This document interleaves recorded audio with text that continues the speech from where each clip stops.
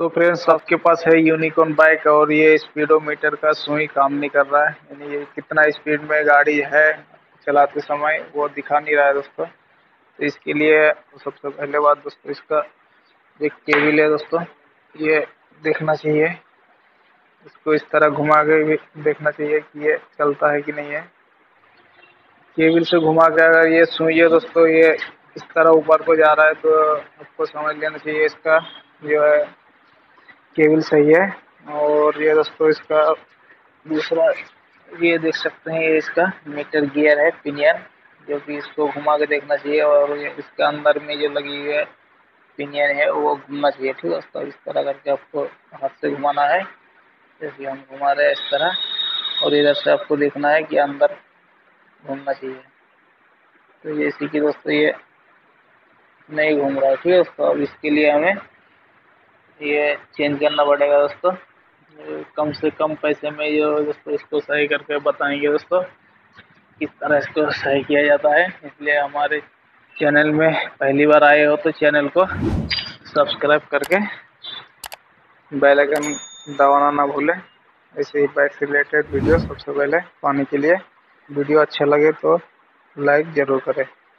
अगर ये पिनियन जो खराब होता है तो बहुत मैकेनिक भाई बोलेगा, ये पूरा जो है दोस्तों, ये सेट चेंज करना पड़ेगा। अब इसके लिए ये दोस्तों बहुत ज़्यादा पैसा खर्च होगा। अगर आप चाहते हैं कि कम पैसे में ये मीटर स्पीडोमीटर सही हो जाए तो बस आपको ध्यान देना है, इसके अंदर जो लगी हुई है गियर है, इसको चेंज करना होगा। ठीक है दोस्तों, ये वाला गियर देख सकते हैं। ये ये घिस चुका है, इसके कारण ये अंदर से वर्क नहीं कर रहा है। तो देख सकते हैं इसका पैसा दोस्तों, ये बहुत ही कम पैसे का है, ये फोर्टी टू रुपीज़ यानी कि बयालीस रुपये का है। देख सकते हैं, ये मार्केट में अवेलेबल है।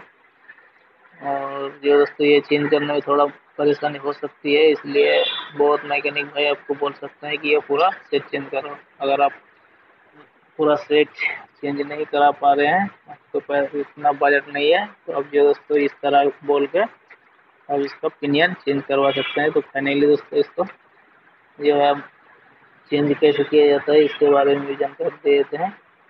तो सबसे पहले हम इसको अंदर में एक जो मीटर पिनियन देख सकते हैं, ये रेड कलर का, उसको हम बाहर निकालते हैं।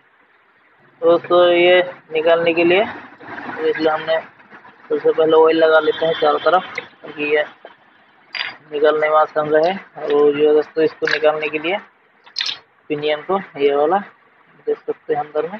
स्क्रू ड्राइवर से दोस्तों, इसको किसी चीज़ की मदद से पकड़ के तो हमने इसको पैर से पकड़ लेते हैं।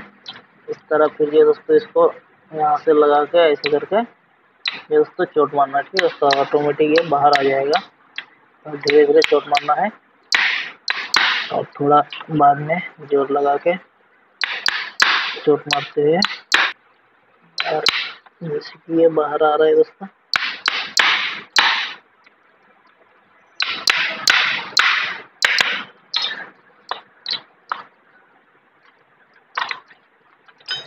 ये देख सकते हैं दोस्तों ये बाहर को आ रहा है।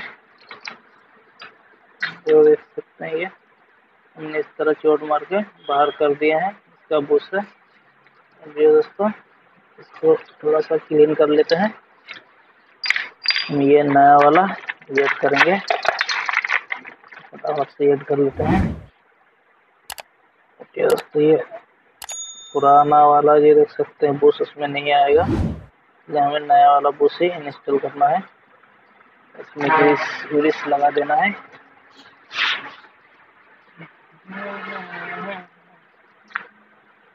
पहले पहले ग्रीस लगा देते हैं। फ्रेंड्स, ताकि इसमें जो फिट करने में आसानी रहे। फिट करने में कोई दिक्कत ना हो, इसलिए ग्रीस लगा देना चाहिए इसमें। तो हमने लगा दिया है। जो इसको, इस तरह इसको इधर से बैठाना है, इस तरह करके। और अंदर को जो दोस्तों, ये यहाँ तक पहुँच जाएगी, ये वाला ये पॉइंट दिख रही है वाला। इसके अंदर तक जाएगा, अब ध्यान रखना है।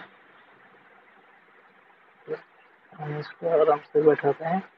उसके बाद दोस्तों ये बुश बैठाने के लिए देख सकते हैं, आठ का टी है, आठ नंबर का इसके। इसमें डाल के चोट मारेंगे। और हल्की हल्की चोट मारना है दोस्तों। जैसे कि ये चला गया। ये इसको चला के देखना है। तो जैसे कि ये पिनियन जो है घूमना चाहिए दोस्तों, फ्री। और जाम नहीं होना चाहिए। तो जैसे कि ये फ्री घूम रहा है दोस्तों। और वो ये बुश लगने के बाद देख सकते हैं ये। पहले भी नहीं है। और फाइनली दोस्तों इसको, ये गियर को हम बैठा देते हैं इस तरह। ग्रीस लगा के ये दोस्तों ये अंदर जो है इसका रनिंग करेगा और मीटर केबल को घुमाएगा। अब जो है दोस्तों मीटर चलेगा।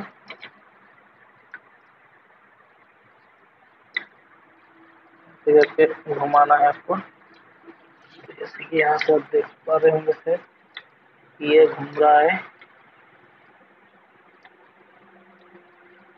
दोस्तों ये अभी काम कर रहा है, घूम रहा है। रनिंग है। पिनियन जो सब बराबर काम कर रहा है। और फाइनली हमें बिल में फिट करना है।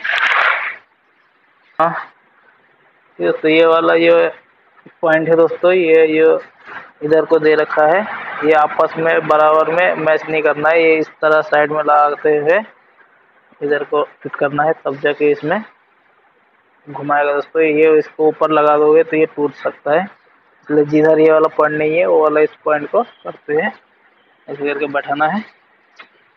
और ये दोस्तों इधर को एक इस तरह बुश है। ये इस तरह करके बैठाना है।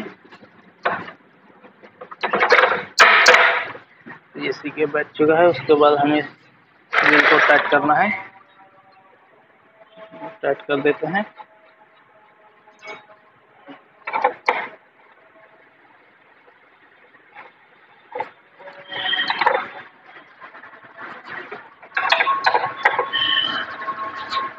जैसे ये टाइट हो चुका है, उसके बाद हमें एक केबल को फिट करना है। ये वाला इनर जो दोस्तों, अंदर को खर्चा होता है पिनियन में उसमें उस आगे तरफ़ प्रेस करना है। और उसको अच्छी तरीके से बैठाना है।